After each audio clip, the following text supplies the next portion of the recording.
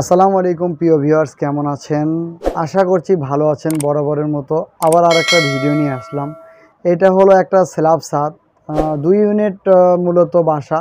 কিন্তু যেহেতু বাড়িওয়ালারা থাকবে তার কারণে আপনার এক ইউনিট করতেছে। তো স্ল্যাব ছাদে কীভাবে পাইপগুলো দিলে আপনার সুন্দর হবে এবং বাসাটা আপনার এত ভালো লাগতে হবে? যেমন ধরেন আপনার পাইপ দিলাম ওয়াল এক জায়গায়, পাইপ এক জায়গায় তাহলে তো অসুন্দর হয়ে যায়। তো এর কারণে খুব সহজেই সুন্দরভাবে যেন পাইপ দিতে পারেন। তো আজ মূলত এই ভিডিওটি এই জন্য নিয়ে আসছি যেন খুব সহজে একটা ছাদের পাইপ দিতে গেলে কোনো বিভ্রান্তির মধ্যে না পড়তে হয়, স্ল্যাব ছাদ। যেহেতু মনে করেন এখানে কোনো আপনার বিম নাই বিম না থাকার কারণে স্ল্যাব ছাদ। সবগুলোই মনে করেন পুরোটা একবারে টোটালি স্ল্যাব ছাদ। তো এই যে দেখুন, এখানে কাজ করা হচ্ছে। কাজ প্রায় শেষের দিকে। এই যে মাঝখানে দেখা যাচ্ছে মনে হয় বিম আছে, কোনো বিম নাই। এটা একটা বেডরুম, চোদ্দ ফিট বাই দশ ফিট। তো এই যে দেখেন, আপনার মেন লাইন টানে নিয়ে যাওয়া হয়েছে। যেহেতু ডিবি হবে আমার একটা। তো এই দুইটাই ছিল দুই পাশে ডাইনিং রুম। তো যেহেতু এখন দুইটা ফ্ল্যাট হচ্ছে না, ফ্ল্যাট হলো একটা। তো এক ইউনিটের জন্য আপনার কত সুন্দর হয়েছে দেখুন। ওই যে বাড়িওয়ালা দাঁড়াই রয়েছে, উনি কাজগুলো দেখে নিচ্ছে যে কীভাবে মূলত ছেলেপেলে কাজগুলো করতেছে। দেখেন এই যে এটা একটা বেডরুম, ছেলেপেলে আপনার পাইপ দেওয়া শেষ হয়ে গেছে। এখন পেপার দিচ্ছে, পেপারটা দেওয়ার মূলত কারণ হচ্ছে আপনার যখন সেন্টারিংগুলো খুলবে তো সেন্টারিং খোলার পরে আপনার দেখা যাবে যে আমি পাইপ কোন জায়গায় দিছি বোঝা যাবে না।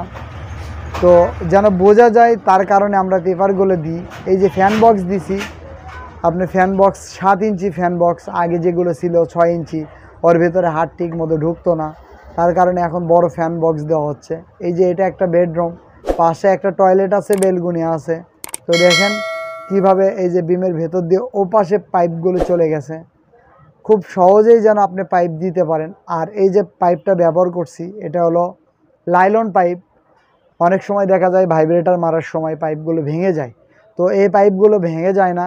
আপনি চাপ খাই, আবার আপনার চাপ খালে উঠে চলে যায়। তো আমাদের তার টানতে কোনো কষ্ট হয় না। এই যে এটা হলো ডিবি, সব সাইড থেকে আপনার পাইপগুলো এসে এখানে জয়েন্ট হয়েছে।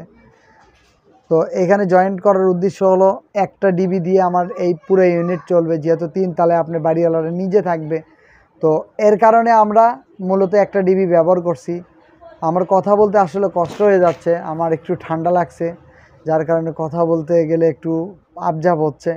তো যাই হোক, আপনাদের বোঝার জন্য সুন্দর করে আরেকটা নতুন ভিডিও নিয়ে আসলাম। দেখেন সেলাপ সাদে কত সুন্দর করে পাইপগুলো আমরা টানতে পারি। তো এইটা যেহেতু লাইলন পাইপ আমরা যেদিকে ইচ্ছে এদিকে ঘুরাইতে পারি। তো এর কারণে কোনো প্রবলেম হয় না।